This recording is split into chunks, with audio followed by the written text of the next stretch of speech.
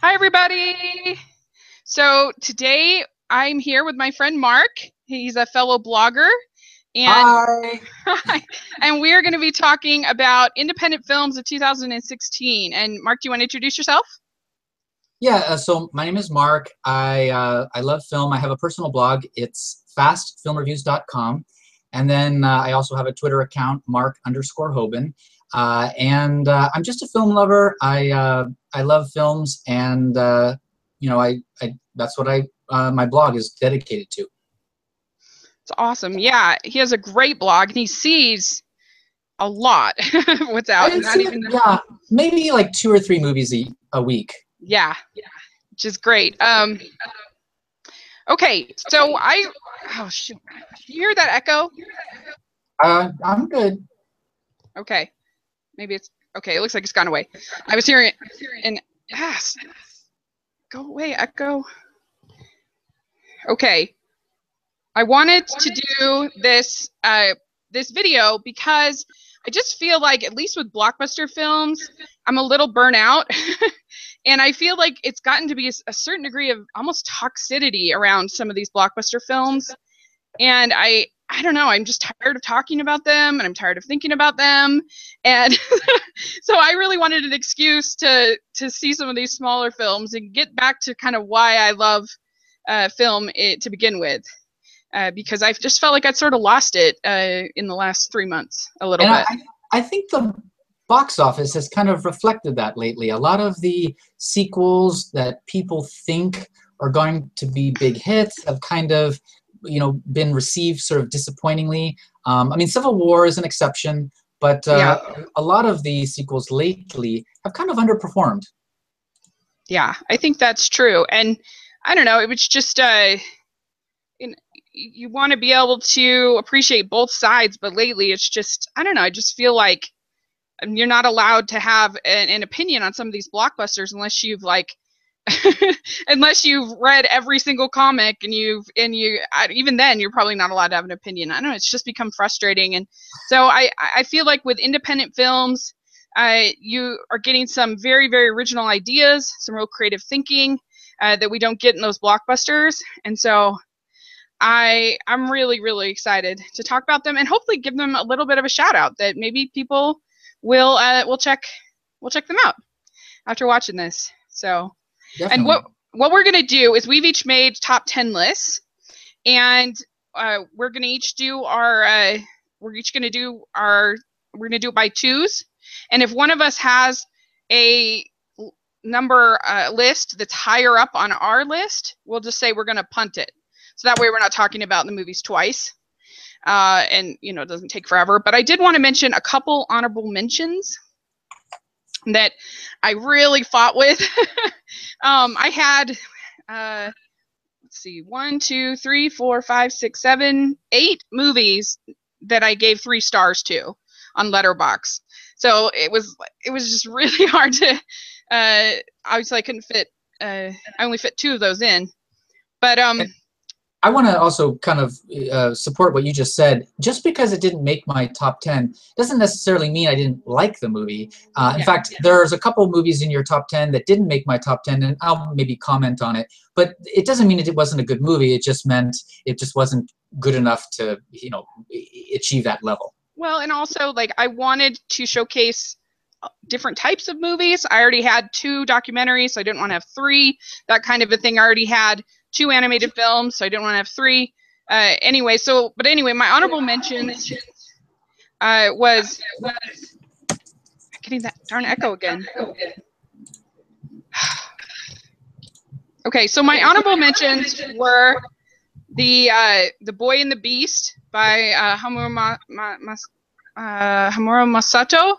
Uh, was really beautiful. It had some problems with the storytelling, but the animation was so so pretty. and I, I, enjoyed it. I liked it. Um, and then another anime that I really liked called Harmony um, that uh, had an incredibly bold, great ut- dystopian setup, but it kind of falls apart at the last 30 minutes. But it's still so beautiful that I'd highly recommend watching it when you get a chance. But uh, Yeah. Um, and then uh, I have two others. Uh, I had the Meddler, which we're, you're going to talk about uh, as my honorable mentions, and then the first Monday in May, which I really liked about the Met Gala, but like I said, I had two other documentaries, so I, I I couldn't fit that in. And then lastly, I couldn't fit in Snowtime, which was I really wanted to fit it in because I actually saw it at Sundance and I was a special representative for rotoscopers.com and I got to interview Oh, wow. the filmmakers and and you know so it has a really special place as far as my experience with it and it's really sweet but I just thought the other two animations were better than so but it's really cute if you get a chance to see it. So those are my honorable mentions. Did you have any uh, that didn't quite make your list that you wanted Well, to? So uh, you're going to talk about it, but uh, April and the Extraordinary World was definitely one of my honorable mentions. It just barely missed my top 10.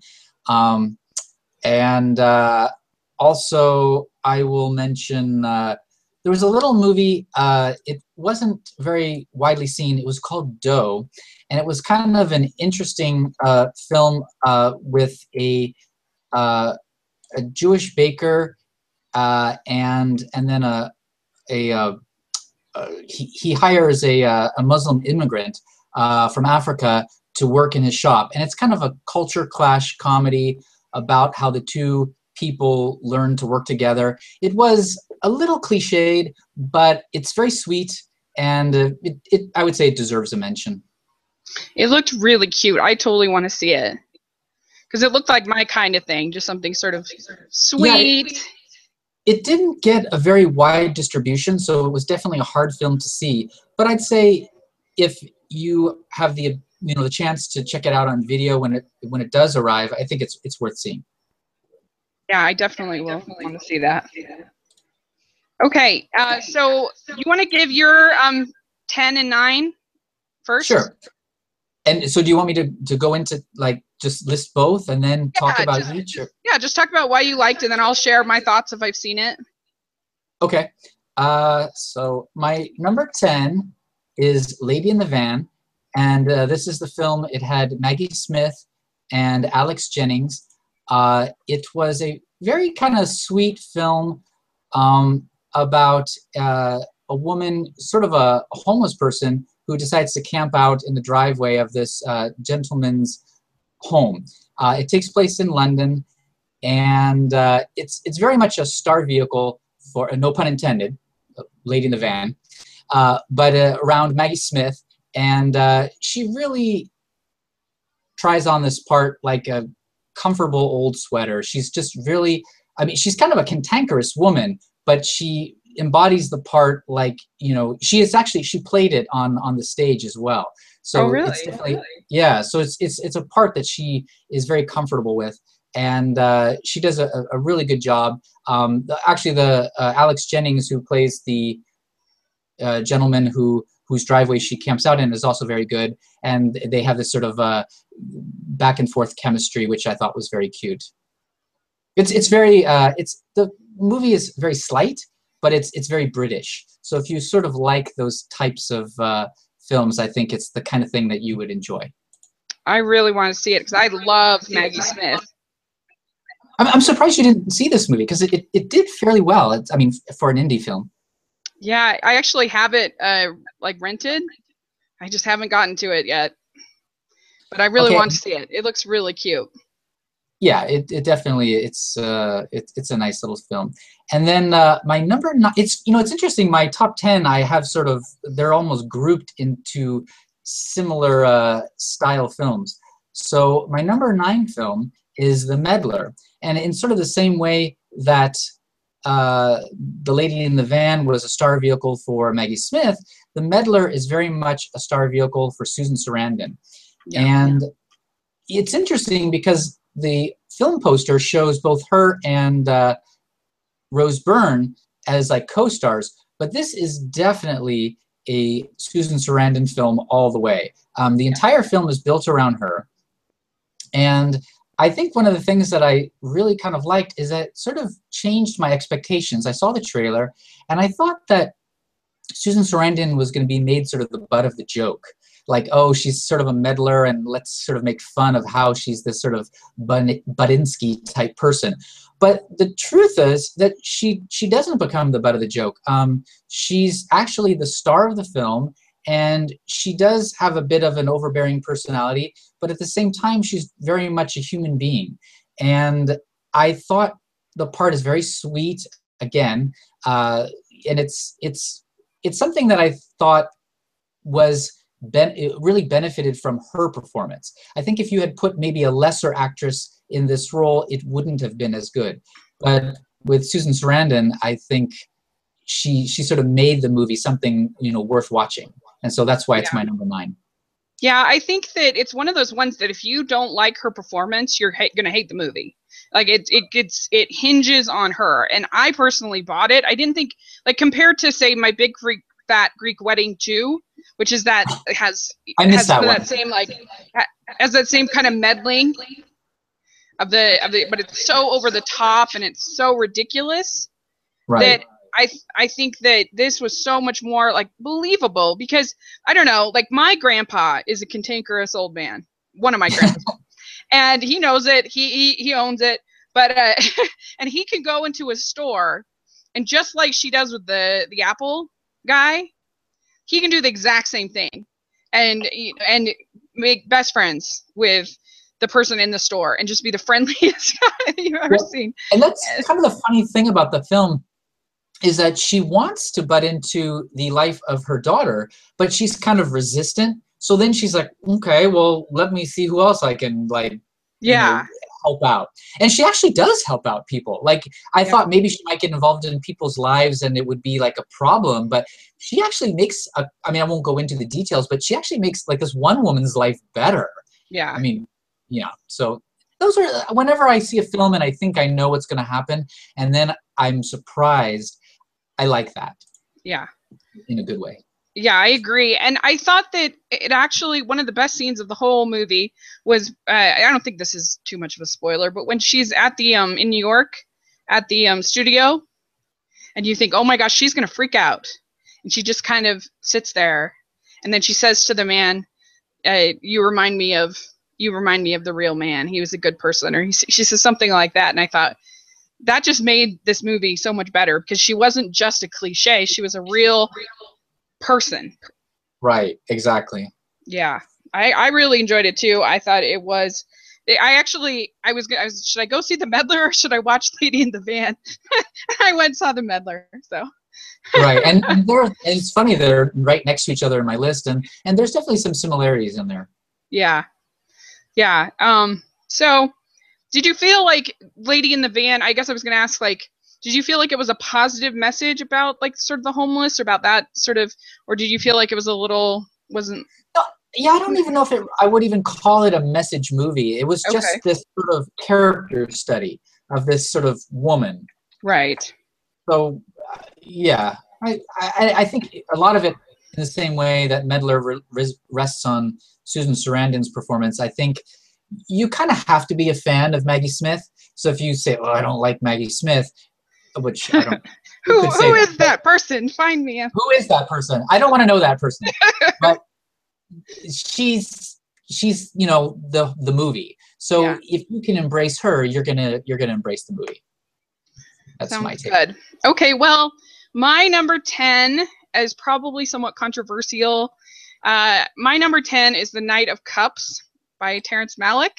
Do you see it?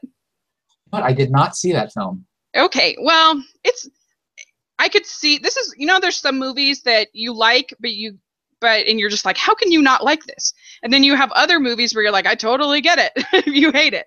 Because and I just think that's always the case with Terrence Malick. His his movies are so artistic and it's just not everyone's cup of tea. And right, they're polarizing. Yes.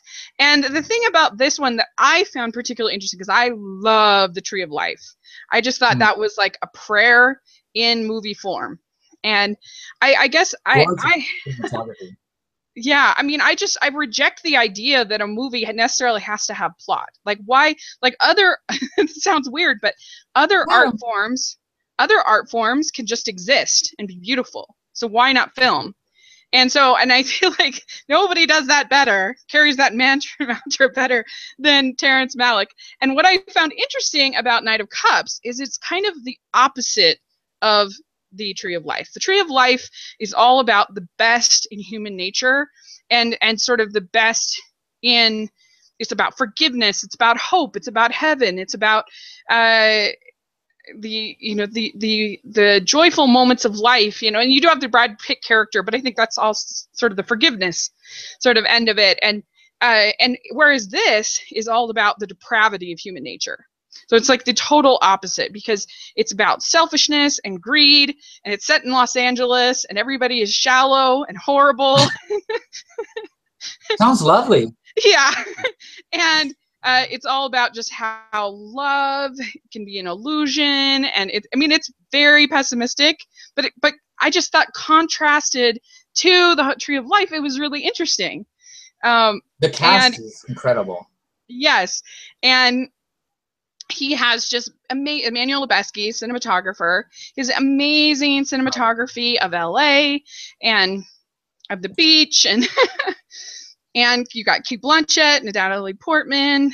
Uh, I can't even remember who else, but um, of course, West Christian Bale is the lead. What's that? Wes Bentley. Yeah. Wes Bentley? And I mean, Christian Bale is is the lead, and there's not very much dialogue. There's very little dialogue, and it's kind of just him going through all these different relationships and sort of he's like a, a screenwriter, I think, I think, or a photographer. I can't remember, but he works in movies. and it's basically just about how shallow and horrible the movie industry is and how greedy everybody is. It, it, but so I like I said, I get it if it's if somebody's just like, wow, that was the most depressing, horrible thing I've ever seen. I'm like, yeah, I get it. But I just thought in contrast to Tree of Life, it was really interesting to sort of see these two different artworks contrasting. Yeah. So I, I I too loved uh, Tree of Life, and then also Terrence Malick also did um, Days of Heaven and Badlands, which I think yeah. are Days of Heaven is one of probably the most beautiful films ever ever photographed. So yeah, what's interesting I mean, about Days of Heaven because my brother was much more into film when he he actually even did, did some short films with his friends and stuff and he told me to watch days of heaven when i was in college and I watched it. I'm like, this is the boringest film I've ever seen. And and I remember telling that to my brother, and he was like, oh. And now I totally get it because it's right. it's so good, but I just wasn't mature mm-hmm. enough to to deal with it back then. yeah, no, that film is. I mean, it's just like it's a painting come to life. Yeah, and I I guess I think that I'm glad that Terrence Malick is making making these movies and kind of reminding us that that that film has that power to to tell to be art. Definitely. So okay so that was my number 10 and uh and then my number 9 is called Elvis and Nixon. And did you see this one? I did not so I have I can't comment. Okay. Well, so I don't know if I believe anything in this movie. it's all based, I guess, the most requested picture from the National Archives is the picture of Elvis and Nixon when they met. Uh, and so they sort of tried to kind of imagine what it is they must have talked about. And uh, and you have Michael Shannon playing Elvis in the long line of Brits playing playing Southern in uh, movies.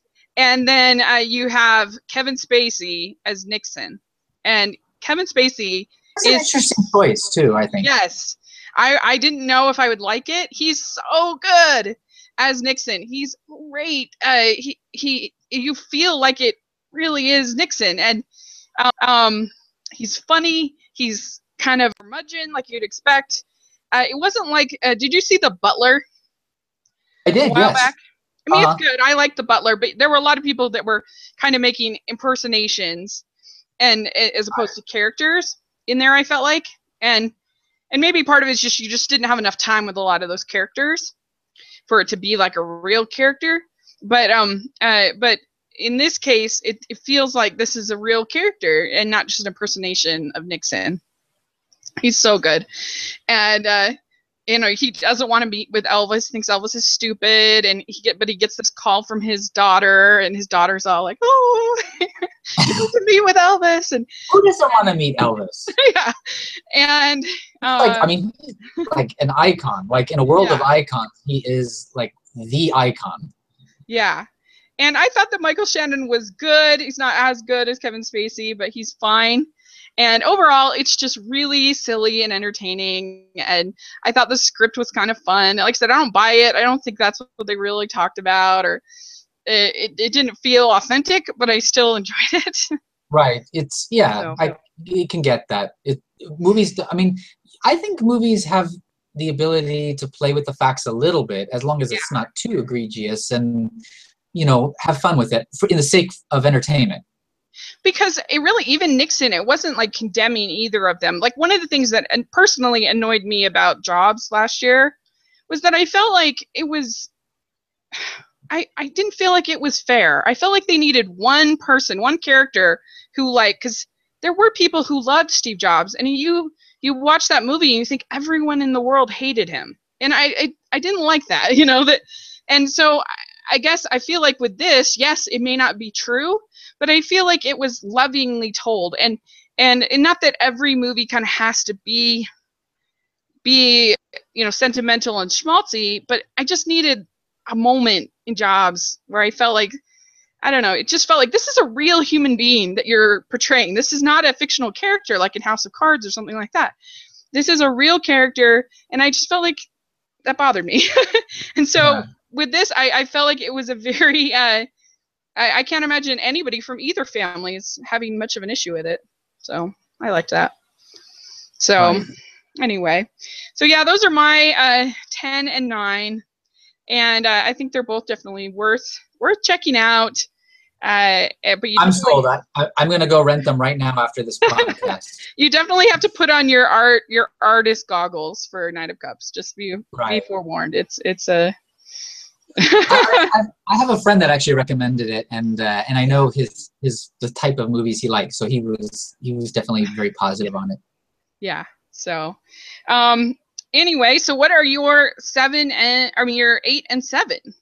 So my number eight, also sort of in kind of continuing the same thing that I was doing before, is Hello, my name is Doris, and this is a film that's sort of built around a star performance by Sally Field, and it's it, again, it's really sweet. Um, the uh, script sort of uh, wants to, us to laugh at the character of uh, mm-hmm. Sally sure. Field, but I think in her hands, she makes the character very delightful.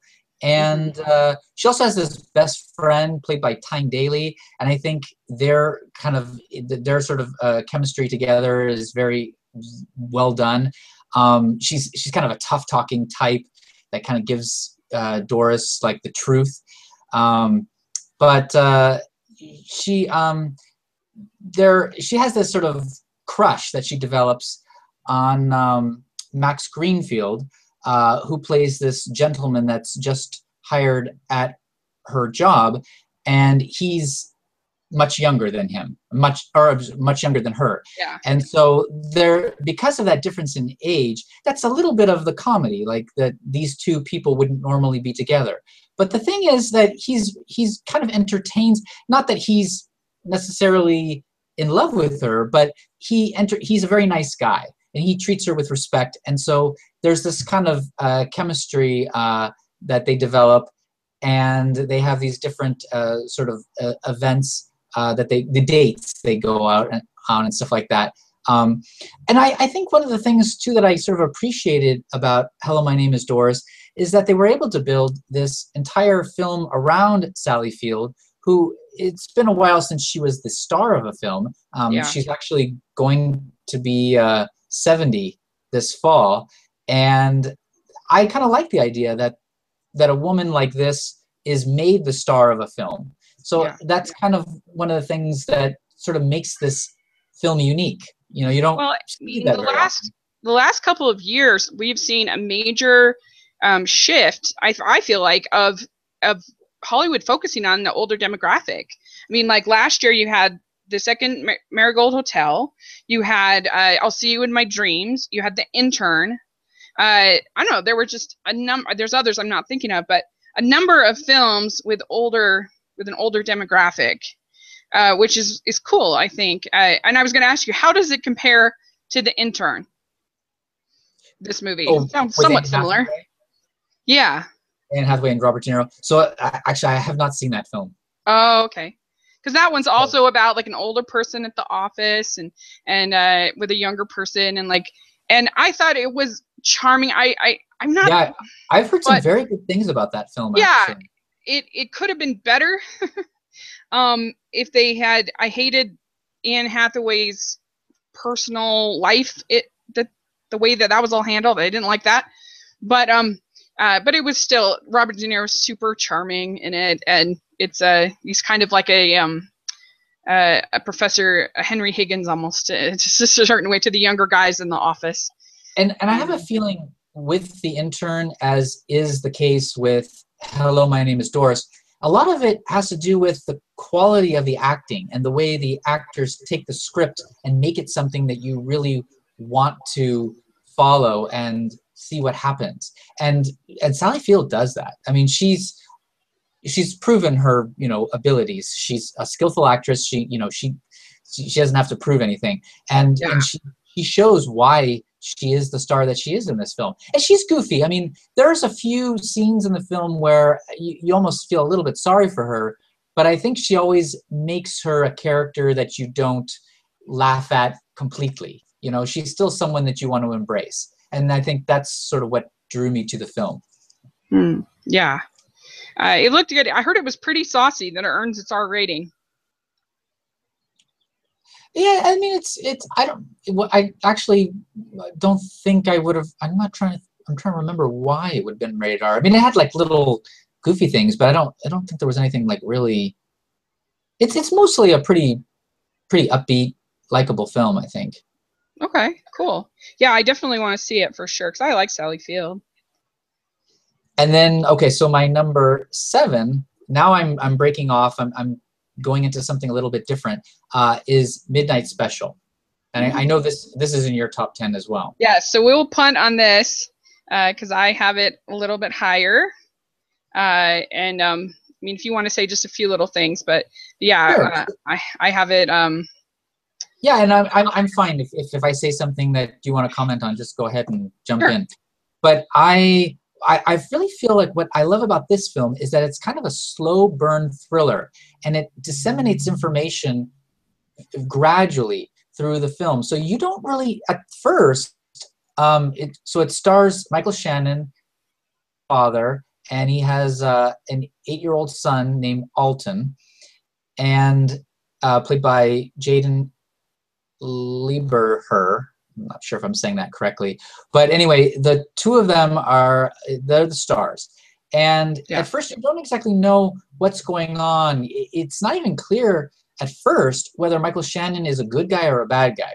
Yeah. Uh, but as the movie, you know, plays out, you slowly get the information, and that's why our minds are captivated immediately. We want to know what's going on. We want to find out, you know, what's this all about. And then as the movie plays out, you learn a little bit more and more, and that's kind of what got me uh, excited about this film. yeah, Um, there are little reveals throughout the film where you you like you go, oh, okay, so that's what's going on, or oh, that's why he was able to do that, or that sort of thing.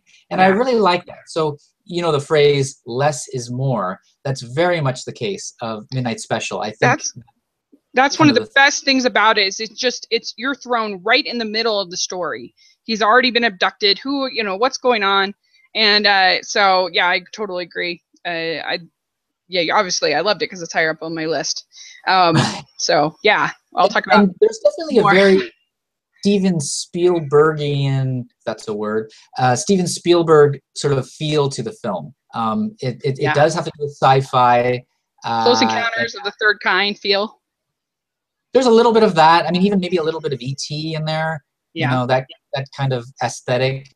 So and I'm a big Steven Spielberg fan, so that's that's a good thing as far as I'm concerned. So uh, yeah, uh, I don't really feel like I, I don't want to reveal too much of the film. I mean, I've said it's a sci-fi film, and there's this relationship between father and son, and I, I really responded to that, and I like the way that it plays out.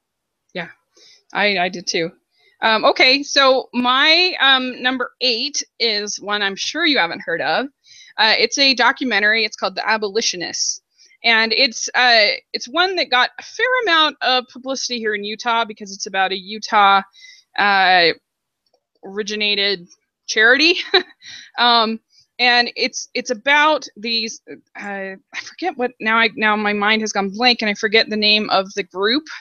It's Project Underground. His name's Project Underground, and they are this group that uh, that is led by this former special agent named uh, Tim Ballard, and they go in and they stage these kind of um.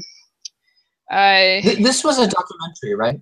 Yes, sorry. Yeah, this is this is a documentary, and they they stage these. Uh, it's kind of like to catch a predator type things, sort of to catch. Uh, well, it's two part, both to catch the people that are engaged in sex trafficking across the world, but also to free the children that are being trafficked. And uh, and I, I just thought they did such a great job like uh, it somebody might classify this in the faith-based but they really only mention his faith being the reason why he was put in uh, as a special agent put over these because they thought that he could handle how horrible it is uh, and that's it. So it's really not. It's one that you don't have to be Christian or Mormon or anything to enjoy. Um, I mean, you don't not enjoy, but to be enriched from. so joy.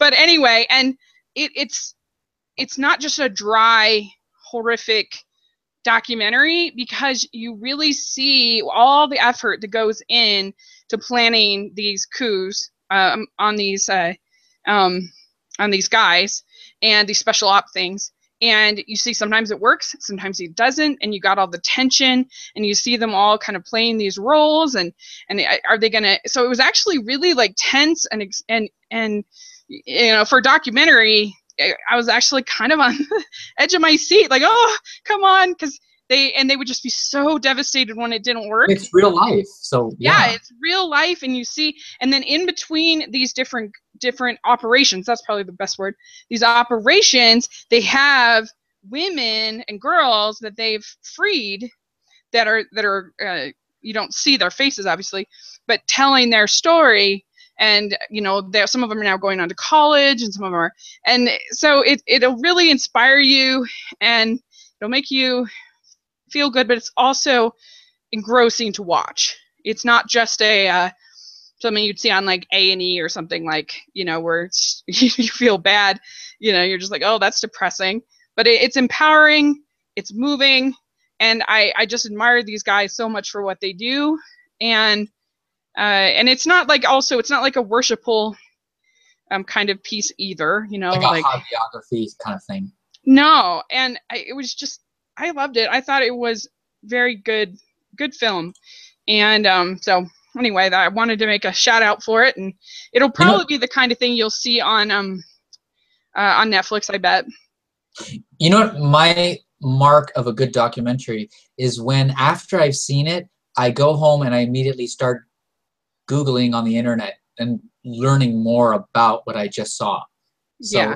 if it's anything like that, that's definitely something I would want to check out yeah it really it makes you want to contribute to these guys and i mean just in the course of the movie they saved something like uh, it was i can't remember if it was like 75 80 something kids just when they were like the the three months or so that they were planning that they're filming this uh, oh and then there's also this one little boy who was abducted who is a friend of the the lead investigator that they are like trying to find desperately. So and and so there's sort of that thread through the uh, through the film. And uh, so anyway it's a i really thought it was a very solid little documentary so. And and i think that sometimes when indies can shine really shine with documentaries Yeah, no, for sure. Because you know you don't need sets, you don't need you know all that stuff. Um, so for my number seven, it's a a, a weird pick in a way because it was made in 1991. I have only yesterday by Isao Takahata, and this is released by GKIDS finally. Uh, um, it is a Studio Ghibli film, and it's the last one. It's got to be like one of your favorite movie studios, right? Oh, I love Studio Ghibli. yeah, I do. I love their films, and and I have to say, like I, in my review, I I was maybe a tiny bit disappointed because I didn't love this movie. Like I, you know, we we definitely disagree on when Marnie was there, but I loved that movie. I came out so inspired by just this girl who's overcoming her depression, and, and I really loved it. And but um, uh, this I did not love, but I really admired it. so it made my list. um, it, it's it's about this girl, about this woman, uh, and she's remembering her childhood in the uh, I think it's like the sixth sixth grade or something like that. So what's that like? I don't know, like 11, 10, I don't know. But anyway, and uh, yeah, and it's very, very, very simple. It's kind of you know I love movies that are like this is a day in my life. You know, like I loved Boyhood, and I, I, I like movies like that. That, and this does that. You know, and, and I loved the parts that were about her as a little girl, and just like just simple stuff that uh, that little kids face, you know, or that young young women that age face, like they have the talk at school and this is the reason why disney never released it which is so ridiculous they have a talk in school about getting your period and I guess like Disney thought that was too like, oh, which is ridiculous. Like they have no problem releasing Princess Mononoke with like ghastly violence. but but only yesterday, no way, we can't talk about a period. But anyway, it's really sweet actually and very funny. Sexual matters are always much quote unquote quote unquote worse than violence in, in that yeah, rating. Yeah. Ridiculous. And uh, so that's really sweet. And she has a, they, they have a really cool take on the bully where uh, she kind of uh, worries that she was like, uh, I don't know, like too judgmental on this person. And she, uh, that was kind of picking on another person. And so she sort of is following them and kind of making sure he's okay and they have this sort of experience. There's also a kid who kind of has a crush on her, and she's got to deal with that. And so it's just like everyday sort of normal stuff. Her dad is actually pretty abusive, which is you know uh, hard to watch sometimes. Uh, uh, she enters the singing competition. It's just ordinary kind of stuff. Where the movie lost me, all that stuff was so good. Love it. Love Isao Takahata's watercolor style that he always does in Grave of the Fireflies and Tale of Princess Kaguya. So good. And uh, but where the movie lost me was in the adult parts because it's very 1991. Let's talk about the environment and let's kind of preach about the environment. um, and like she goes to this organic farm and she's like working there and there's lots of sort of speeches about how great organic farming is and and that part kind of lost me. And she has this sort of romance with this guy but they have no chemistry at all. And and it it's very japanese the romance. Like they don't like hold hands or spend any time together. And yet it's supposed to be like the the grandparents are like well why don't you stay here and get married? It's like what but uh, so that's where the movie kind of lost me is the adult parts, but the kid parts are so good, and uh, I love Takahata's you know animation is he's a master. I have a question. So yeah. you mentioned that only yesterday originally came out in 1991. Was it ever released in the U.S. until this year? No, that's the crazy thing. So here's okay. here's the crazy thing. It is within the realm of possibility that this could get nominated for best animated feature film it, it would qualify because you know there are very strict rules about that sort of thing. It would qualify because I I mean it's just the same as any other Ghibli film, but but it happens to be this crazy long gap. But all of them have a gap from when right. they're released uh, in Japan right. to when but they're released. The gap is like two, like maybe a year or yeah. two years. Yeah, not this long. Yeah. yeah, I mean, I think Spirited Away was one of the longest. It was like three years, but um, Right. uh, but yeah, no, it. As far as I understand the rules, it just has to be a U.S. release, and as far as I understand, this never got a U.S. release. So that's that. I I, would be surprised if it does, but it's I think the currently the highest rated. I think it's hundred percent, if I'm not mistaken, Uh-huh. uh, on Rotten Tomatoes. Um, so so competition for Finding Dory next next year. Yeah, I mean that would just be crazy. Can you imagine if it got nominated and it was made in 1991? Right. There be have been examples of that, but yeah, it's it's not it's not common. no. Uh, so anyway, so that's my eight and seven. Uh, I definitely think only yesterday is, is definitely worth checking out, uh, even if it's not. It, it would be far down on my list of favorite Ghibli films. It's still a Ghibli film. So, Okay. Yeah. Um, Sounds so good. what are your six and five? So my number six is a horror film. It is The Witch, and this is actually Ah. one of the one of the more. Oh, I, I hear a gasp. Somebody didn't like this film. No, no, no. I Oh, I've just heard. I've heard really. I've heard a lot about it. Okay, so it was. Uh, it's a horror film, and uh, it's actually might be one of the biggest hits on any of our lists because I know it, it's been quite successful. It was actually Yeah. it opened very small, and then they expanded it uh, to the point where it was playing at lots and lots of theaters, which is sort of it, it's usually not typical of an indie film. But anyway, um, it, it, it's a horror film. It has to do with this Calvinist household in 17th century New England, and it has to do with a family um, who uh, it, it's very much if you're familiar with the Crucible, it, it it's sort of that kind of era and and and style about witches and that sort of thing. Um, he leaves society and the, his family uh, sort of separates themselves into a, a separate area. Um, it's very much a, a period piece, and I think the way that they realize the period is actually quite beautiful. Um, it's very carefully constructed. They've got the costumes. The language is uh, the Jacobean uh, sort of language. It almost sounds like uh, sort of the Elizabethan era of Shakespeare. Um, but it's actually Jacobean. Um, the the language is very. In fact, there's parts of it that are almost a little hard to understand because of the way they speak. But I think that really kind of adds to the narrative. It creates this sort of mood uh, of foreboding. It it, it, it definitely uh, has this sort of uh, sort of almost discovered piece from the past. Um, but anyway, uh, it, it has with this family, and and they're sort of uh,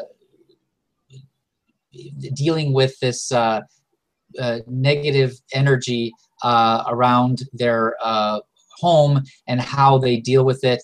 Um, it's it's kind of thought provoking. I think um, it it's definitely not the kind of film that will charm people who are interested in shocks and and the sort of blood and guts horror of the traditional horror films.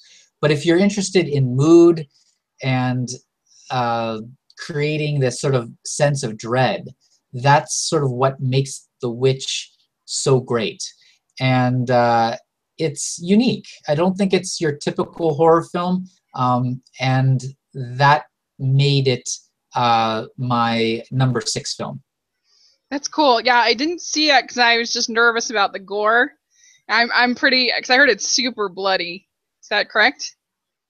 I, I don't. I wouldn't say like. I mean, it's not. It's not super bloody in this in the way that like Saw or Hostel are. It, it's nowhere near as as bad as that. Okay. But it, but it, it, it definitely is a horror film. I, I, I believe it's rated R. Um, Oh, yeah. So yeah. So and it's definitely even if it wasn't rated R, this the the intensity of the film. I mean, The Conjuring got was rated R, and that was only because of how intense it was. And it was definitely that would would qualify for this film as well. It's it's definitely a, a, a, a it's an it's a film that will make you feel uncomfortable. Um, and it does, you know, it has to do with witches and, and the occult and that sort of thing. So uh, I know not everybody is. Last learning. year, I I dipped my toe into horror a little bit. I saw the Babadook. I saw Oh. the Gift. I saw. Um, love, love both of those films. I absolutely adore, and I'm not. I mean, I'm actually very critical on horror films. There are yeah. horror films that I've seen that, like, I, I, I, I'm not. I wasn't cra- like there was a movie called You're Next that came out several years ago, and it got all this critical acclaim. I, I hated it. I thought oh. it was. Oh.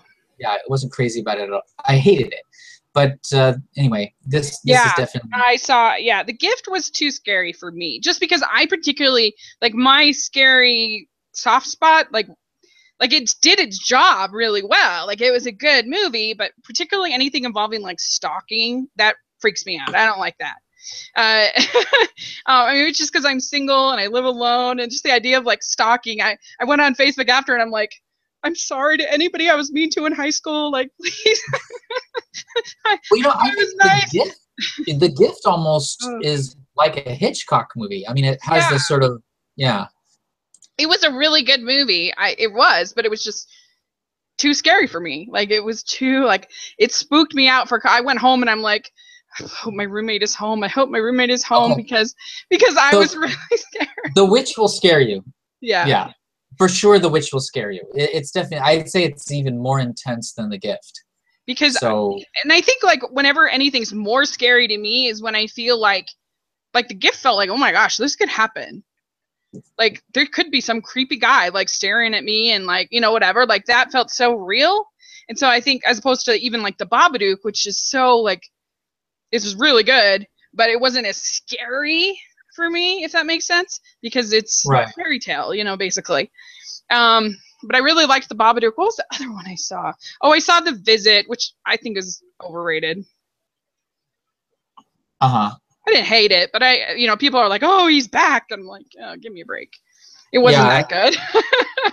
no, I, I'm I'm not a fan of. I mean, I liked The Sixth Sense, but I'm not a I'm not a fan of uh, M Night Shyamalan. I, and, yeah, and I didn't. If, I didn't there's think... an opposite of fan, that's what I am. like Shyamalan. I don't. I mean, uh, the, yeah, we don't want to get too much in the visit, but I, I, right. I just thought the whole setup was so ridiculous, and I thought the big twist was so obvious. But it had. I get and why people why liked it, but. And we don't want to get into a M Night Shyamalan uh, discussion, but why does everything have to have a twist? Like everything, like oh, where's the twist? You know, it's always something. It. And it's almost like it's not even about the movie anymore. Now it's just about like you know like oh let me let me do something that's like you know yeah let I, me blow, I think blow your he, mind. He thinks he's smarter than everybody else, so he thinks that's like oh look how clever I am. He's done. A, I mean, uh, well, anyway, yeah. I, anyway. He's done something, but, but I, I nothing in the last like whatever fifteen years. Yeah, yeah. But anyway, so I'm trying to expand my palette into yeah so i don't know whether to I, I i would say i would recommend the witch to the majority of people who see this. I don't know if i would recommend the witch to you given your your feel of horror but it, but it is a well done horror film. Yeah i've heard really my brother really liked it so and he's a huge horror fan so um but uh but yeah i'm trying to kind of expand my my palette a little bit and i so well, anyway so what was did, did you get so, both your um? No, so then I haven't done my number five. five. Okay, what's your five? My number five, also in the same sort of vein, is the invitation, and the invitation concerns a dinner party, and it's kind of an interesting. It starts out very like unassuming. If you've ever been invited to a dinner party that you didn't want to attend, but you sort of went anyway because you figured the aftermath of skipping it would be worse than the actual event. Um, that's sort of this the feeling of this film. There's a gentleman, his name is Will, played by Logan Marshall Green. Um, he was in Prometheus. Uh, he is invited to a, a party uh, with his girlfriend, and they're driving up the Hollywood Hills, and uh, he's meeting his ex-wife and her new husband. So he's like not really interested in in meeting them, but he sort of goes just to be like a nice guy. And it's sort of about how this very awkward dinner party, it's not just the two of them, but there's also a smattering of other guests that show up. Uh, some of them are mutual friends that he is aware of, and there's also a few people that he's never met before that are friends of his ex wife. And through the course of this evening, we learn how everyone knows each other and what they're about and a little bit more about um, what makes them tick. And again, this is a film I don't think I want to say too much about the plot. Mm-hmm. But what I will say is if you've ever seen like there I sort of I feel like there's a category called awkward dinner party movies. yeah. Rope by Hitchcock, Guess Who's Coming to Dinner, there's Clue. Um, you know, a group of people who are drawn together and then you sort of have their clashing ideologies of Gosford how Park.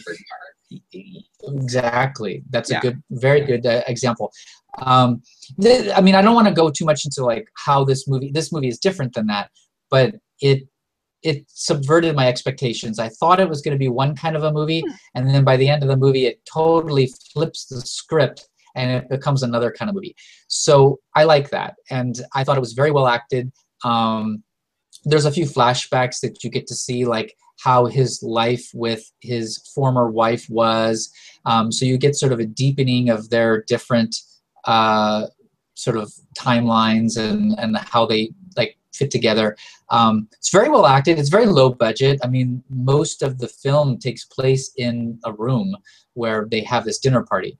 But i don't think that is a problem with the film when it has a good script and I think this the script of this is really well done. It's about the words and like what they say, and uh, as you sort of draw are drawn into the lives of the people, I think you really will be captivated by what happens.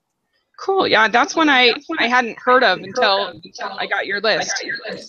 Oh, that's good. I like I like that when I recommend. I mean, again, it's it's it has aspects to the film that I'm not sure that you will enjoy, but it's I, I, like being able to draw people into a film that they've never heard of, and then have them watch it and then see like uh, hopefully enjoy. Yeah, me too. Me too. I I I think I I, I like I like those kind of movies where where you really get to know characters. You know, where it's really and we'll talk about another one coming up uh, that's all about characters. But um, uh, I again, I don't think that movies need a strong necessarily need a strong plot if you have people that I'm interested in hearing them talk and hearing. um, For anyway, sure, yeah. So that sounds good. That sounds interesting. Uh, so my number six is one that maybe people did. I did post a video review of it, but um, it's a doc, another documentary, and it's called "Presenting Princess Shaw." Have you heard of it? I, I well, so I, I we did share lists. So, so I, I was aware of it because of you, but no, I, I yeah. actually do not. I wasn't aware of it. This was a last minute kind of addition to my list because I saw it a couple of days ago, and I loved this movie. I, you know, again, I I had been feeling kind of discouraged because I just felt like YouTube in particular had become sort of this toxic environment where it had been so positive about sharing love of film and sharing uh, different perspectives and opinions and and ever since Batman v Superman came out, it was just like everyone has to think the same or you're a horrible person, and it was just. Uh, and so I, I don't know, like I needed this movie to like restore my faith in in what I'm doing, you know, in my in YouTube and blogging and everything else. And it's a really cool little movie. It's about this it's about these two characters. Uh, her name, the girl's name is Samantha Montgomery, and she, her YouTube channel is called Princess Shaw, and it's literally just like her with her phone videotaping her singing on her and, and also just talking about her life and she's a sexual abuse survivor um, victim and talking about that and talking about other things in her life and it's like sort of the core of what YouTube and blogging and everything is supposed to be. You know, just sharing and talking. And most of her her videos had 30 hits, 50 hits. You know, these kind of things like a lot of us have. And anyway, uh, so she write would write her own songs, and she would go to um, open mic nights and things like that. I, f- I forget. I think she's in like Atlanta this, or someplace like that. This movie like just recently was released too. Yeah, like, but you can you can yeah you can stream it same time as theaters. It's one of those indies, so uh-huh. you can watch it from home. Anyway, and at the same time, there's this guy in Israel named Kutiman. That's his internet name, whatever. And what he does is he goes through YouTube and he gets all of these clips of different musicians and he combines them together to create a whole new song. And that's kind of his his shtick. And so he hears her, happens to hear her singing this song that she wrote about her sexual abuse and being, you know, surviving her sexual abuse. And anyway, so he uses her singing for his new video. And his friend is the guy who made the documentary. And so he, I don't know if he just told the friend or whatever, but like, so, so like three months before he's going to release the clip, he tells Samantha, Oh, I'm doing a documentary on YouTubers, not knowing that it's really just about her and her response to seeing this video. Anyway, and so it follows her and then you see her and she sees this video and it gets like 2 million hits and she's freaking out and and uh, and and she ends up going to Israel and meeting and the two have this amazing chemistry even though they're so different and it just warmed my heart it made me happy and Did it you just yeah Did you see this movie uh, on demand or did you see I saw it on demand On demand. Okay. yeah I saw it on demand uh, at um uh, on Amazon instant video Cool. I think it was six dollars. So, but I I just thought it was charming and sweet, and I loved both these people, and uh, and I thought the music was really good, and uh, so yeah, it, it's one definitely worth checking out. I, uh, you know, you could make an argument that how you know was what was manipulated or whatever, but you have that problem with all documentaries. Right. So, uh, I I I felt like it was genuine. I felt like it was genuine, especially on the part of her. She was very, just a really cool, cool person. And anyway, so that was my number six. My number five is Midnight Special that you had talked about, and Right. I really loved this movie. It's definitely a slow burn. It's not for everyone. Uh, but what I liked, like you were saying, the part about it diving into the middle of the story. You know, we don't find out, we don't get the setup of him being a baby and then, you know, changing and, you know, it's just, he's, he's this kid, this is what he is, and we're taking him and you, you get all these different characters and who's the good guy, who's the bad guy. Is the Adam Driver character the good guy? But that's Kylo Ren. Right. and what what I thought was the most interesting about it is I felt like it was an interesting story about belief and how each of the different characters believed in Alton differently. You know, the father believed in him in a certain way. The cult members certainly believed in him in a different way. You had the FBI guy, you had you know all these different people that sort of believed in him in a different way. And I thought that was really moving and interesting.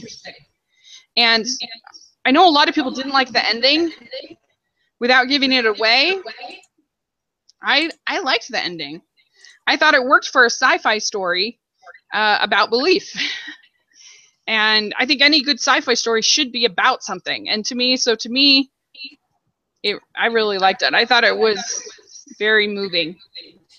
I, I will say that the ending, I feel like most of the movie, part of the thing that made it so great was that it didn't tell you everything. And I Mhm. feel like the end was a little bit specific.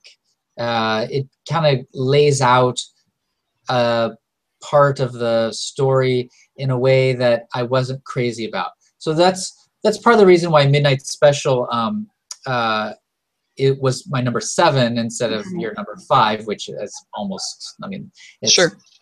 pretty close anyway. But I would say that that's why it was it appeared lower in my list, just because I I was not as crazy about the ending as it was about everything that led up to it. But it, it's a it's a small quibble. I mean, it's in my top ten. I I, I loved it. Yeah, I kind of looked at it like the ending of Cocoon.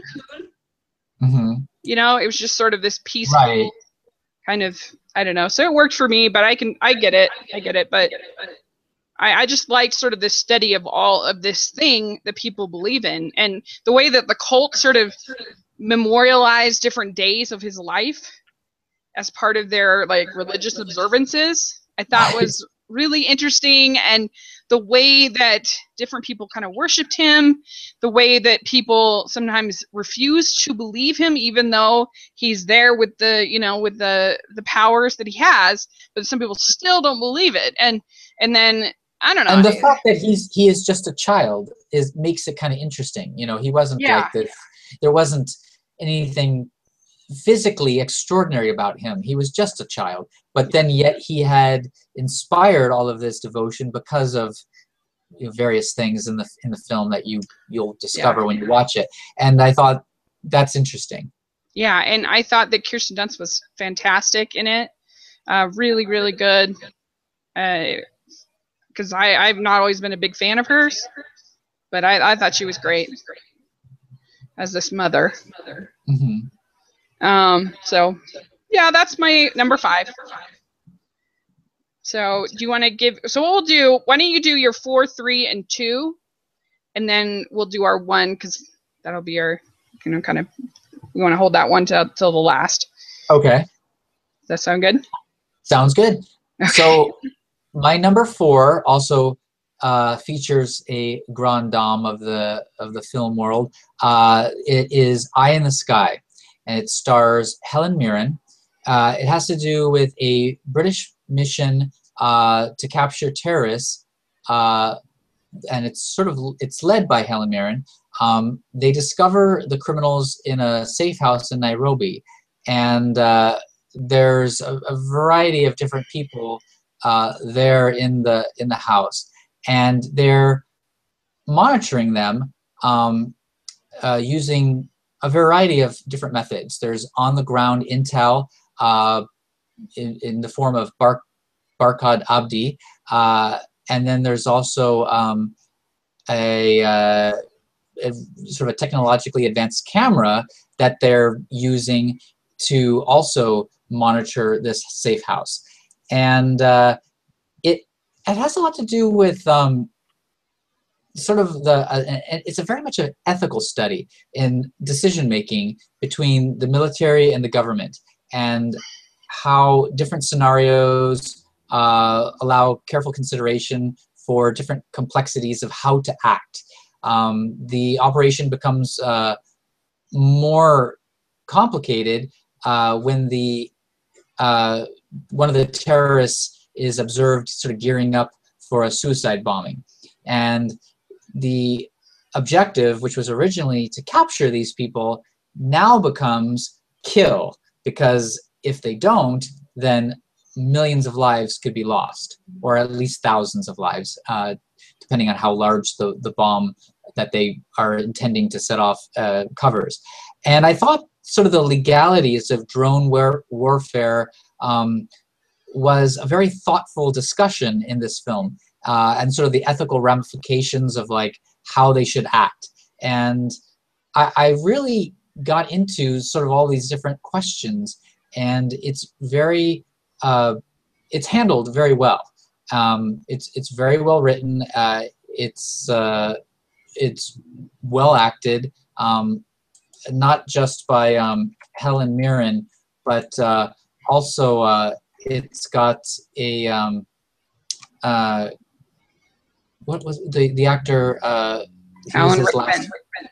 Alan Rickman. He's also in the film, also giving a great performance um, in the, that sort of. ex- y- y- It's a small part, but it's definitely something that you notice, and uh, it, it's it's very well done. And I thought that the the way that they handled these different complexities and like how the uh, government would act and whether they should do this or that and the discussions that were involved was were very interesting and so that's that's why it's my number four film So this will be an interesting one to talk about because I, I I was engrossed with this movie while while I was watching it. It's very well made and it is very it's a very good thriller, but I political thriller I guess you call it. But I had issues with it because I felt like it was a little bit propaganda-y. That like if you wanted to if somebody had issues with drones, which there are a lot of people who have major issues with drones, you could show them this movie and be like look how careful we are. Look how many questions that we ask. And it just felt like that's a best case scenario that they that they I, I did I just don't know if I buy that every time there's a drone strike and there's a little girl that can be associated, we're talking to 15 different people and we're discussing it and so that was the only part of it that was like I feel like I just got a sales pitch on drones. That was my well, only issue. I don't know. What do you think about that? Well, and I think one of the things about the film too is it's frustrating for us as the audience as we're watching this because we're feeling like okay, you need to act, and then why are you going through all this bureaucratic red tape? So I I took it as this is a example of this situation. Not and also another thing too is it's a British uh, uh, mission. It's not an American mission. So you know whether other missions by other countries would be the same. It's it's not clear. I, I, I took it to be this is in this series of events. This is what we're detailing, but in another situation maybe it would be different. Um, yeah, I mean, it's kind of a worldwide issue though because you've got the people in Las Vegas that are actually got the finger on the trigger. You've got the person in Hawaii who's the one that does the facial recognitions. You have you have the head of state who's in China. You have all of these people that have to get talked to, and uh, and yeah, that was the only thing that it bothered me a little bit. But I can't deny that while I was watching it, I was engrossed, and that counts for something. So, yeah, there was there was a few moments where I was almost like you know holding my breath. There's scenes in this film uh, having to do with civilians and making sure that they take out the important people involved, but not innocent people. Yeah. And I thought that was an interesting discussion. Again, you know, is this how it would happen in real life? I don't know. But I, I thought it was an interesting movie and, and I was captivated by what I saw. Yeah, I get it. I do. I mean, and all the performances are really good for sure. I thought Aaron Paul was great. Right. I didn't. Right. I didn't mention him, but he was also uh, a very good as a lieutenant uh, drone pilot. Uh, so he's also coming. They deal with different perspectives, you know, so you kind of see it from different sides. Yeah. Yeah, I, they do have that one woman who's kind of the anti-drone voice, and I thought that excuse me, I thought what was interesting is when she basically says that that terrorists attacking a, a, a mall of people and killing hundreds of people could do less PR damage than one one innocent that's hit in a drone strike, which is probably true, and that's crazy. Uh, I, I thought that was that was good. I, I like the ethical discussion of the whole thing. I, I think it, it raised a lot of topics and it doesn't necessarily answer them for you. I think it almost gives you here's some here's some topics, discuss it, you know. Yeah. It's a good pick. Okay.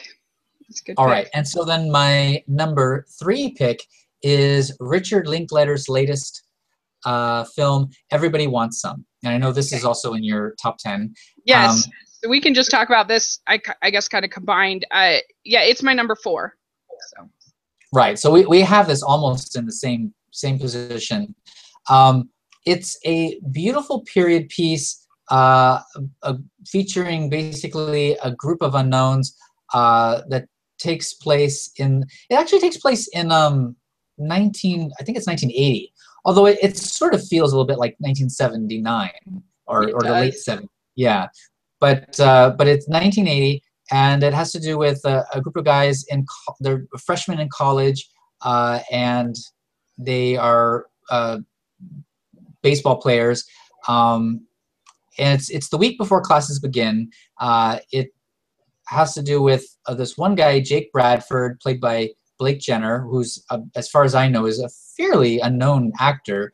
Um, he is uh, moving into a uh, uh, off-campus residence with a bunch of other jocks, and you sort of learn their his friends and, and the people that he interacts with. Um, I think there's a one of the things that I think Richard Linklater does a great job is, is for, for, first of all period pieces. I think he gets the the I mean it's not a costume drama. I, I mean in a sense it is though because it's it takes place in 1980, so they had to uh, recreate that time period. But he does a really good job of creating an era that really feels genuine. and he he selects a very attractive cast of talented up and coming unknowns. Um, I think they have a really good camaraderie together. Uh, of course, a lot of that has to do with the script and the way they interact. Um, he sets up these different vignettes uh, of things that happen. Um, it, it's very much like these guys are kind of just. I mean, it, a lot of it has to do with just trying to. They're meeting. They want to meet women, and I think a lot of the it doesn't really care where. So they go to a country bar, they go to a disco bar. It doesn't matter. And of course, all of those scenes have the music of that era great soundtrack. I mean, it, he basically curated this group of great songs. You hear a lot of them in the movie, um, and I've also listened to this after I saw the movie. I went home and listened to the soundtrack, and it's a, it's a nice it's a nice sampling of music from the era, and you get a nice group of all different types of music. Um, but I just I just enjoyed the little the way that he dealt, and it's a lot of I mean this is um, very much. Uh, what uh, the the film that he um, is is kind of like a sequel. They call it a spiritual sequel, which I think is kind of corny to say, but I to Dazed and Confused. Yeah, yeah. Dazed and Confused, so and like, uh, sorry, go ahead. No, no, go ahead. I mean, that's basically because like it's Dazed and Confused is about individuals. It's about all of these individuals and they're and they're finishing up or or starting or whatever high school. Whereas this, I thought, is about a team so it has kind of a different dynamic than Dazed and Confused. Well, they're a little more adult too. I mean, they're still they they're still young people, but they're sort of like now they have their eyes set on the future and like going to college and that sort of thing. But there's this whole dynamic of kind of how the team behaves and them like encouraging them to do certain stuff and not do certain stuff and and I uh, I loved just I loved his dialogue so much. Like it's definitely more profanity than I typically permit. I admit it, but right. it, it is rated R.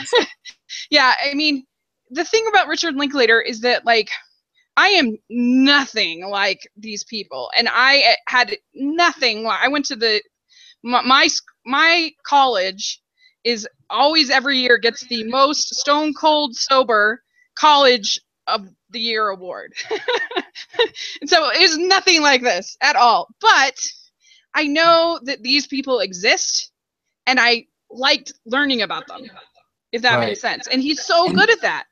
And about, he recreates the era as well as the people with a sincere uh, genuineness, if that's a word. Yeah, affection. I mean, and it, and it feels it feels real. You know, it doesn't it doesn't feel like a I mean, I almost feel like he went back in time and and filmed these people. You know, it has yeah. that that authenticity. Well, and I love it at the end when he gets to school and he's like, oh, because if you think about all of the stuff that they did over three days, holy, holy cow! Well, it's, it's amazing that this only takes place. What is is it over just a weekend? I think it's just three days. Yeah. Yeah, it's just over three days, and it's Which not even crazy. school hasn't even started yet yeah and i loved uh i loved finn he was such a great character he was so funny so like just great and i also liked i think his name is dale the african american character i thought he was really good uh, i liked the fact that he was just one of the guys and there was no like right like black person's that wasn't a, story that wasn't a big part of the film it's just this is a group of guys yeah yeah i like that and because you can have African Americans in movies, and it doesn't have to be; they can just be normal guys, because that's how hopefully we and, want it to be. And, and, there is one girl. I mean, there's several girls, but there's one girl in particular, Zoey Deutch, who plays Beverly, yeah. And she has she she's an important part of the film. Yeah, she was good. She felt I I liked her. I I I yeah, they were just all great. I I really really enjoyed it, and uh, it's funny, it's sweet uh, it's, a, yeah. it's a very infectious film. It's I funny because I went to an early screening of it, and uh, and so they were like surveying us after, and it was funny because like you had three or four people come up at, at, to the survey guy and was like, it was slow, it was boring, nothing happened. I'm like, no, I'm probably like the way my brother was when I said that Days of Heaven was boring. I'm like, no, you don't get it. Like, uh, it's and I, so I said to the survey guy, I was like, it was great. I, I was. I, I was kind of hoping that you know Dazed and Confused you know did what it did. I thought this would possibly top it, but it, it didn't at the box office. So I, I was Oh, disappointed yeah. that it, it didn't break out bigger than it did. Yeah, I mean, do you think that the the R rating? You think if it was PG thirteen, maybe more people would have seen it? Um, yeah, I mean that's possible. I mean, Dazed and Confused was also rated R, and that that still did more money. So I'm yeah, not sure why this didn't uh, take off in the same way. I mean, it's possible that over time people will sort of embrace it, and then it'll become sort of a beloved classic. Yeah. But yeah, it, it wasn't it wasn't as big of a hit as I as I thought. Well, No, this year the box office census is so weird, so Right. it's really hard. But yeah, I mean, for me, I still I love Boyhood. I I'm one of those people that will defend it to my dying day. I loved it. I was blown away by the experience of that movie. So for me, that one's always going to be number one. And uh, you know, and then the before movies are next. and then oh, it's like, do I like this better? I, I certainly related to this just because they're older. And I feel like Dazed and Confused it was a little bit meaner at times, which Uh-huh. you could make an argument that well, makes there it was the better. whole like I mean, there was the senior class that were kind of like picking on the younger people and stuff like that. And there, I guess there's a little bit of that in uh, Everybody Wants Some too, but you sort of feel like well, they're all sort of in the same. It's more hazing and uh, like yeah. we're we're entering a camaraderie. Like you, you just have to endure this, and now you're one of us. Kind It's of thing. way more joyfully done than the, you know, the Ben Affleck with the, with the Right. paddle going around. with the paddle and stuff like that. Yeah, yeah, And you yeah. can, you can make an argument that that makes Dazed and Confused better, but I don't know. Like I don't know which one I like better. I I I, I have to watch them back and forth someday and Yeah. decide. But I love both. I have Dazed and Confused on Criterion. It's really good. Yeah. Richard, I, and I'm, I'm, I, I- I'm with you with Boyhood. I mean, that movie, like, there was, I mean, there was a, a, a strong contingent that thought that it would actually win Best Picture. So, and if it had, I would not have been upset by that. But you know, it didn't. So, Yeah, I I uh, I was so upset. I just I, it blew me away. But anyway, so uh, yeah, it's a great movie, but you just have to kind of accept that this is a movie about characters, and it's Right. not a movie about plot. right, and What's wrong with it's it's multiple characters, and the way that they handle the different characters uh, is masterfully done. I think everybody gets a chance. There's sort of one guy that it's sort of his odyssey, but you sort of learn about all these other people through him. Yeah, no, no, it's it's it's really well done. It has a it has a very uh, up. There's a, a there's a real upbeat feel to it that I think is uh, quite infectious. Yeah, yeah. I really loved it. I it made me smile. I I really I really loved it. It was good. So okay, yeah. So I have that as my number four. Uh, let's see, where were you at? I've lost So track. so that was that was my number three. Are you, I, I'm I'm ready to give my number two. Oh, okay. Well, actually, now let let me change my mind.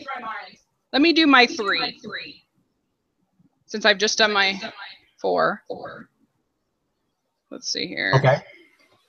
That seems to make the most sense. Raquel, Okay. Can, can you give me just a minute while you, you can talk about your number three, but just give me a, a quick break Sure. No problem. a second? Okay, just give me a second. Okay. Yeah, my number three is there's the poster behind me, and it is April in the Extraordinary World, and this is a, a film out of France. It is by the same team that brought us Persepolis. Uh, I really champion this movie because I thought it was so different and so bold.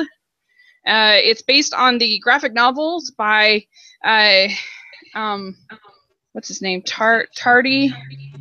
Um, yeah, and it's about this. It, it- they do this alternate timetable uh, where all of the scientists have been basically gathered together and abducted, taken away. And so the world has remained in the world of steam. And so it's the first true steampunk movie that we've ever had. And so I just thought like most steampunk movies have been so bad, have been terrible. And this is the first good one I think we've ever really had. And they capture what it's real would really be like, how dirty it would be, and kind of how gloomy it would be. And you get this character April, and she, her parents are basically like these scientists who are researching this like elixir of life that kind of makes you like immortal and they get abducted but she continues on with their mission but it's not uh, before a certain degree of the elixir gets spilled and her cat gets get I'm back. uh, so I was just explaining sort of the steampunk, how this is the first real steampunk, good steampunk movie I've ever seen. Oh, first good one. Okay. Yeah, first good one, because like Wild Wild West and League of Extraordinary right. these horrible movies, and I, they just get like this sort of this dirty, how it would really be to live in a world with no electricity, no, or it was just all sort of steam and coal and. Actually, have you ever seen the City of Lost Children? No, I never heard of it. So that's actually it's uh, directed by a French director, Jean-Pierre Jeunet. Uh, he actually, um, what else has he done? He did uh, Amelie and Delicatess oh. and Del- Delicatessen. That's a film that, if you are looking for a good steampunk movie, I, I think you would enjoy that. Okay, okay, I, I I'll check that out.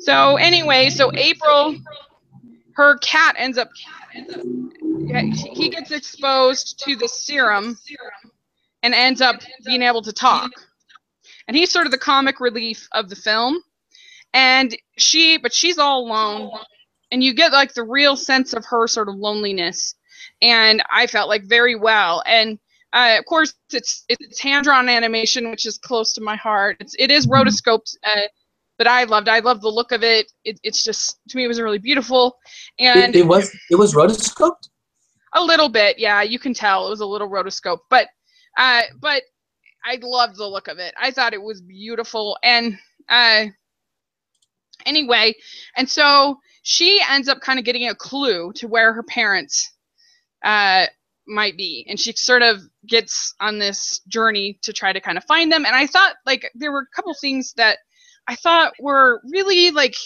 unexpected about it. Like the fact that kind of her both her what are her, her what her both her mom and her dad kind of end up being was really surprising. You know, the, especially her mom, uh, and sort of her position on everything. I thought was really surprising and different, and uh, and I don't know. It just was a movie that continually surprised me, and continually like, wow, I didn't see that coming. I didn't see that, and I thought it had really nice heart to it, and uh, it's definitely the villain. You'll either kind of go with it or you'll think it's stupid. I liked it. I, it I would definitely say so. Uh, April in the Extraordinary World didn't. It just barely missed my top ten.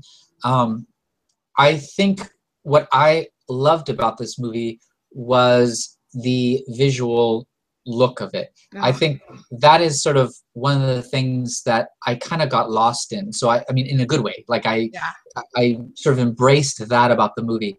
So I, I really, I, I definitely, I can understand why you know why you have it so high because it, it has sort of a a visual beauty to it that you don't see that often and i think so that's creative. definitely most definitely and i think that's something to celebrate, you know, these days. So, uh, you know, and I, I do kind of actually like that sort of steampunk aesthetic. And you're right, there there may be a, maybe a bit of a dearth in movies that sort of employ that style well. I mean, like you mentioned, Wild Wild West or something like League of Extraordinary Gentlemen or something is also not very good. Uh, but uh, anyway, um, I, I, I really did enjoy that about the film. So I, I can definitely attest to the visual splendor of it all. Yeah. And I, I, I just, I've seen it now probably four times. and I just really loved it. I loved the story. I loved the adventure. I loved. Uh, Only four times. I've seen it only four times, and yeah, I I just thought they took risks a number of times, which I liked. Uh, the villain is definitely a risk. Like you said, you either kind of go with it, or you'll think like, "Whoa, what the heck is that?" So I have a question. So you've seen it four times, and I missed the beginning of your discussion of it. So forgive me if I'm asking a question No you problem. already answered. But which versions or version have you seen? I still actually have only seen it in French Okay. because the screener I got was in French, and then when I saw it in the theater, it was also still in French. And I was So so, ex- oh sorry, go ahead. Sorry. I was just going to say that I actually, what I saw was the U.S. English language dub. So it had Paul Giamatti, Tony Hale, J.K. Simmons, and Susan Sarandon as the as the voices. Ben, you did you, you said it was pretty good? I well, I mean, so I, I don't have anything to go on. Uh, I, you know, to be honest, I'm with you. I would probably prefer to see it with the original French and then just have subtitles. But that's just the version that I was offered, and so that's what I saw. And yeah, I, I think it's fine. I, I I mean, I think it depends on who you are. If you're taking kids to see it, I probably would say bring them to an U.S. you know a, a, a language a dub. But if you're taking you know cinephiles that sort of are purists about the whole thing, uh, which I mean, I, I just I didn't have a choice in the matter. I went to go see it, and that's the version they were showing. But uh, then I would say I would probably go with what you saw and watch the French version because I like I like to hear the the French language and, and Yeah. get of immersed in that. You know, Well, and Oh. they do advertise Marion Cotillard, but she is barely in the movie. oh yeah. So that's a little bit false advertising. What what part does she play? trying to remember. She's her mother. Oh, So okay. She's not in the movie that much. She's not April. No. Okay. Yeah. So anyway, um, I yeah, it really it just was so different, and I guess I I had you, you know you go to so many movies that feel the same, and I guess for me like I give it extra props because it was just this and Midnight Special also for me it was just like oh this is so different. It felt refreshing. And uh, so anyway um uh, oh but also about the subtitles thing it was so cool. I took um when I did see it in the theater because we had this whole steampunk event here in Salt Lake. Mhm. and uh, to to kind of I was trying to just get a few people to go see it. And and uh the uh, and so my friend brought her little girl and I was like oh no shoot is this going to be hard because I don't know how old she is 10 something like that I was so blown away by this little girl she did great and she really liked the movie and she, she followed the subtitles I was like wow so kids can surprise you sometimes I I was I was really impressed with her because it goes pretty fast. The dialogue's pretty, pretty fast. So anyway, Right. There's definitely uh, there's nothing objectionable in the film, so a, a child could see it. It's more the fact that she had to read the subtitles, right? yeah. So I was impressed, impressed with her. So anyway, I think we have the same one at two, if I'm not mistaken. We do. So this is perfect. We can just talk about them together. Okay, sounds good. Okay. So our number two, I'll announce number two. You can announce number one. Our number two is Love and Oh. Friendship by Whit Stillman. Yay! Yay! Uh, Whenever I hear this title, I want to sing. I want to sing. I sort of do a version of Frank Sinatra's "Love and Marriage." Love and friendship, love and friendship. I Anyway. so I saw this movie uh the same day or or no I saw I saw a double feature of this movie and X-Men Apocalypse which I hated yes, I remember you told me this. And then Friday the This next was like day a breath of fresh air. next day I saw Alice through the Looking Glass Okay, so that I hated. Like X Men, I'm actually okay with, but uh, Alice through the Looking Glass, I, I, I actually It was just hearing the, the word makes me ill. and so like uh, this movie is like saving my love for movies for that weekend it was like it's like oh But it, it's a good movie even on its own. Like no I know I it, know it definitely. I mean, it probably in contrast, it even seemed better. But I think this is an extraordinary movie I love it. I love it. For sure. Yeah. It it's my third favorite all movies. Movies. I mean, my number one movie of the year is Utopia. still, but Love and Friendship is number three. Which is a good, very good number one. I, um I, yeah, I, I totally agree with you. I thought this movie was hilarious. I was laughing laughing from start it's- to finish. So it's based on a Jane Austen novel, and it's Yeah. kind of a bit of an obscure one. Uh, the novel is Lady Susan, and Yeah. it was actually not published during her lifetime. It was like 50 Oh, years later after she died. I I read, we're actually reading it for book club because of this movie. Oh, cool. So I read it, and it's charming too. Okay. But it's only I mean, really 'cause short. Jane Austen, you know, so, so she did Sense and Sensibility, Pride and Prejudice, and and I'll admit, I think those books and movies are great as well. I, I Mhm. like I like the movies of both of those, the famous versions anyway, um, of both of those films. Yeah. But I, I think this actually compares well with I it. think so too. I just thought it, it did such a great job of making this character that's a horrible person. She's a horrible human being, but But you like kind of- her. She's kind of admirable too. Yeah, she is. You know what I mean? Because she has, because the women's sort of status in society is such as it is, and she's kind of able to sort of exploit that and still kind of rise above. Yeah. She's the world's worst house guest. I mean, Right. and it just like the way that she is able to manipulate everybody including her own daughter by the end of the movie the kind of the coup that she pulls off She's not very. I mean, she's not that nice to her daughter either. no she's horrible I mean, I, I will like they present her daughter. She's a bit. I mean, she's a little bit more plain, a little bit more like not quite as ostentatious, shall we say, as she Yeah. is.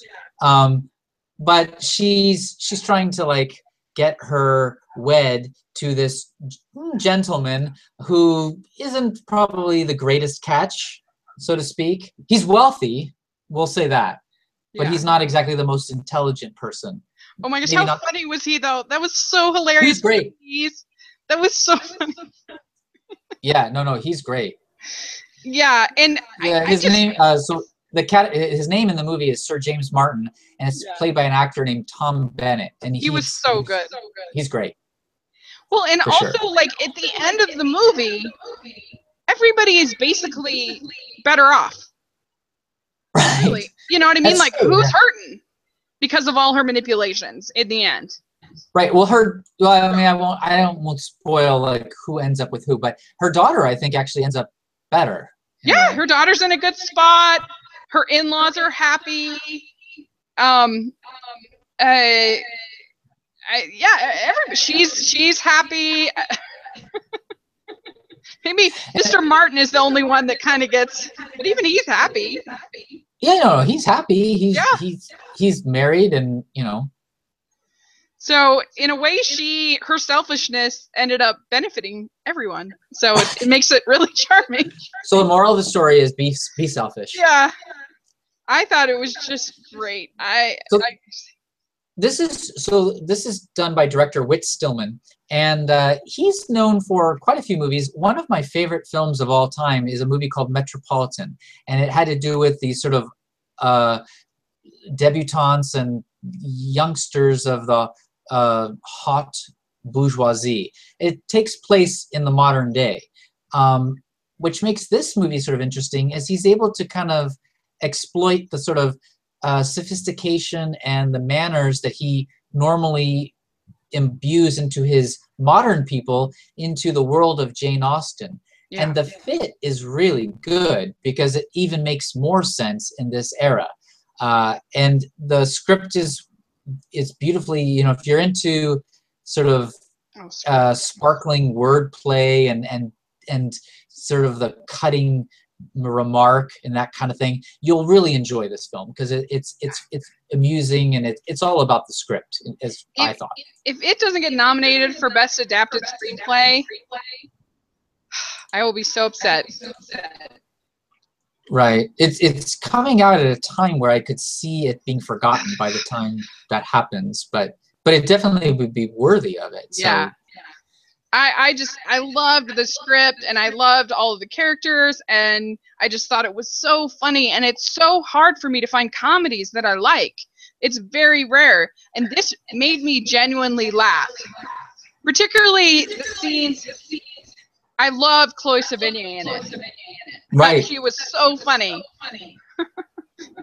well, and and Chloe Sevigny and Kate Beckinsale were also in The Last Days of Disco together. Oh, okay. Directed by Whit Stillman. So uh, I would recommend. I don't think that movie is as good as this, um, but it's definitely yeah. if you're if you're craving more from this. I mean, honestly, if you're craving more from this director, rent Metropolitan. That's that's an extraordinary film. But cool. then if you, I want to check it out. Yeah, if you're interested in seeing Kate Beckinsale and Chloe Sevigny in the same film, uh, and then also directed by the same director, uh, Rent: The Last Days of Disco, which actually also is a period piece. Um, in, in the same way that 70. this is a period piece. Yeah, just not as that doesn't go I just doesn't loved, quite go back as far. I just loved how like things like things like she would say uh, my husband says we can't meet anymore. And yet then they would always end up meeting again. Like right. Stuff like that was so funny. Uh, anyway i yeah i loved it. So i know you have to go fairly soon. So let's i want to talk about our number one. And this is a movie that after I saw it, I wanted to just stay in the theater and see it again. And it kills me that I still haven't seen it again because I loved it. You, so you've only seen it once. Yeah, I've only seen it once. I mean, honestly, I've only seen it once as well, but uh, uh, I, I, love it. It's uh, John Carney's Sing Street is the name, and and that's same director that also did uh, Begin Again and also did Once, which are also films that I I love quite a bit. I I wasn't that crazy about Begin Again, just because I I, I thought that Keira Knightley's character was a little pretentious, and the whole like I, blasphemy. the idea. I love I love Keira Knightley, by the way. I, oh, do you? Well, just the yeah, idea. I'm a big. That, like, but I, I know I know there's people who don't like her. So no, just like the idea that oh, we're not going to charge for this because we're all about the music. You know, like the idea that I'm like, come on I don't know. I thought I just thought there were certain things that were kind of pretentious about her character. That well, how about once? Have you seen once? Yes, I've seen once, okay. and I I really love love once. I Academy Award for Best Song. Yeah, I say uh, maybe I don't know. I love them both. Oh, I, I actually I will go on record. I actually like Sing Street more. I think and, I do too, because and that's uh, that's. I think one of the things. Uh, so what I will go into a little bit about what it's about. It's this again another period piece takes place in the '80s in Ireland, uh, and uh, he likes uh, about a basic. It's a it's a boy meets girl kind of story. It's it's yeah. basically about a, a boy uh, who likes a girl, forms a band simply to impress her, asks her asks her to be in the video before he even has formed a band, which is already kind of funny. And then he uh, films a video to go with the song. The music, can I say, in this film is wonderful. Like oh, best, so best. And I don't think this is going to change unless unless we have an extraordinary year. But I thought the sound, this soundtrack is my favorite soundtrack of the year. Yeah, even yeah. better than uh, Everybody Wants Some because it's originals. It's original song. Well, there's actually there's also a, a smattering sure. right of original. I mean of, of uh, classic songs on it as well. But the original songs they are written sort of like 80s songs would sound. So if you if you like Duran Duran or Haircut 100 or The Cure or some of these like 80s bands, you're gonna love the soundtrack because it sounds like their stuff, but but new, fresh, new stuff. Well, and even if you I even if you, if it sounds like a gimmick, oh, you know, like this sounds sort of like a rom-com kind of gimmick forming this band. It's really not because the lead character he feels authentic that he like gains this sort of he realizes that he's good at writing songs in a believable way. And you just see his like whole personality and everything just grow and blossom as he sort of develops this artistic gift of his. And, and it's really fun because he gets his classmates to be a part of his band and so you have these different characters. I actually the only quibble i'd have i mean it's my favorite movie of the year but the only quibble I have is maybe they could have delved a little bit more into his fellow band members because I thought they were interesting too. But at the same time, if they did that, then it would probably be at the expense of the love story and, and his story. So I, I get why they, they didn't go into yeah. their stories. But I, I thought I thought the way that, you know, I mean it's amazing like how much talent these kids have. Like he's like, Oh, oh let me just form a band. And then it turns out like the band is really good. And then he's like, yeah. Well let me do a video. And the video is really good it's it's sort of amateurish in a way, but it it genuinely it, is it actually a really good video. Yeah. Well, and like just little things, like when they get the uh, the bully to be the right. to be the boxer. That's unexpected. That was so cool. I I thought that was great, and I loved the relationship between the brother and the lead character. I thought right. that I thought that actor playing the brother was excellent and you know there's just like this sign this mixture of him wanting to encourage his brother but also being incredibly jealous of everything. And i thought that was so good. And uh and you also have his home life is kind of going his parents are you know their marriage is in deep trouble. And i thought all those elements just worked yeah there's a there's a lot going on but they do a good job of like juggling these different story threads and still making it a narrative that you you you, you know you can follow and and uh, i mean some of the concert scenes where he sings the songs and stuff like he's there's a performance at school and i just i really like that stuff. That was so good that that whole concert scene at the end. I mean this is a movie that will make you so happy it's Definitely. just joyous. It's a joyous movie, and it's the best high school teen movie that I've seen since Perks of Being a Wallflower, which I love. Perks of Being a Wallflower. Yeah, that's that's high praise in my book because Perks of Being a Wallflower was my favorite film of that year. Me too. So, me too. Yeah, saw, it's, it's wonderful. I saw Perks of Being a Wallflower three times in a week. I, I, I just it spoke to me um, so much. And this, you add the additional element of the music, which is also a big part of Perks, I guess. But the original songs were just so good, and I really, I loved the ending. it was so great, and I, I liked their. I felt like they had good chemistry, him and that girl. Right. Uh huh. No, definitely you could kind of buy it that she would be sort of charmed by him, uh, right. even though she's so beautiful and and. Right. There's sort of this like storyline where she she seems a little bit out of his league, but oh, she's yeah. sort of a, she's sort of charmed by him because he has a she thinks he has a band and he's offered her this part in his video so that's sort of like what draws him in and then she actually kind of helps them with their image. And she, she introduces them to like you know he she updates their style and sort of the the manner of the era and stuff. So eh, she has sort of an effect on the way that they present themselves and stuff. So yeah no it's it's really kind of a, a wonderful way of how the story develops. Yeah and, and she actually encourages him to be like go all the way for his art too and that, that, i thought that was a good moment. And there's hilarious scene where they they get a, a, black kid to be in their band and that that's really funny. Uh, and and that's a great character. Like there's just oh it's such a good movie. I loved it so so so so much. It's charming it's funny it's sweet it's romantic. It's got this great brothers relationship. Uh, and i love the dialogue just everything about it I thought was great. Right. So the the guy uh, that plays the star, his name is Ferdia Walsh Peelo.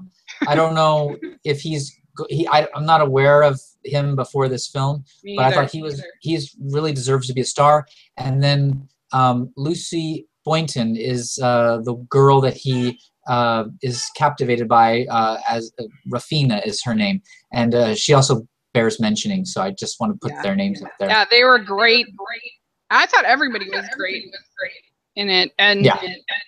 I don't know, it just was made me happy watching this movie. I can't wait to get it on Blu-ray.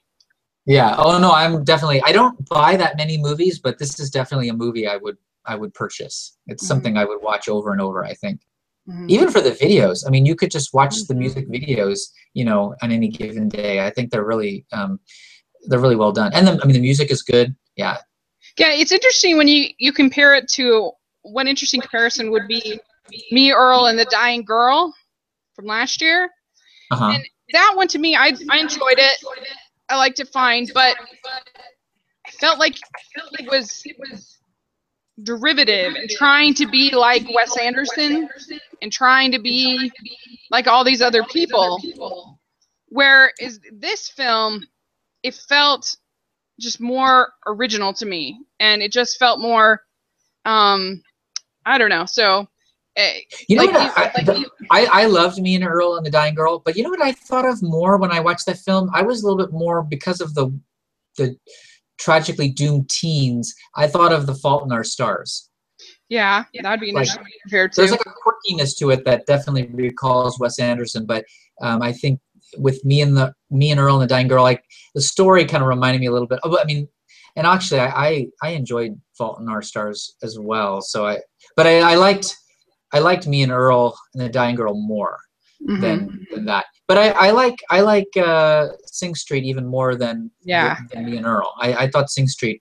Uh, because it has this musical component, and I think you're right. It, there's a little bit more of a, a level of originality to it that uh, you may not find in Me and Earl. So Yeah. I yeah, I'm with you 100%. You know, after I saw it, I posted like 15 tweets. Right. See right, it, see it, see it, see it, see it, see it. you, know, you feel like as long as if I can affect one person who Yeah. wasn't going to see this movie but now is going to see it because of me, then you feel like my work is done. Right. Right. Yeah, uh, and it just I wanted to see it again a second time, but there were so many movies I had to see that were kind of on the docket to see one time. Uh, to see the first time, and then I got super sick. That's the real problem. I got really sick. Well, I'm sorry sorry to hear that. but anyway, uh, thank you so much for doing this. I think we've just talked about a lot of great films, Yeah. and hopefully we'll inspire a few people. I know I have a few on my list to see that you've mentioned, and uh, And same here. Yeah, you've mentioned a few movies that uh, I also have not seen, but definitely plan to check out. yeah. Um, so where can people reach you? Okay, so uh, you can follow me, or you can follow me on Twitter uh, at Mark underscore Hobin, and then you can also read my reviews on my personal blog, uh, fastfilmreviews.com. Yeah, and you can find me at Smiling LDS Girl on all social media, and then at 54 Disney Reviews on my blog. Uh, and so, yeah, thanks again, and um, uh, and I will put all that information in the description section here, uh, so people can reach you. And uh, let's do this maybe again at the end of the year, and we'll see uh, what else good and independent film comes out. Cool, sounds good. Okay.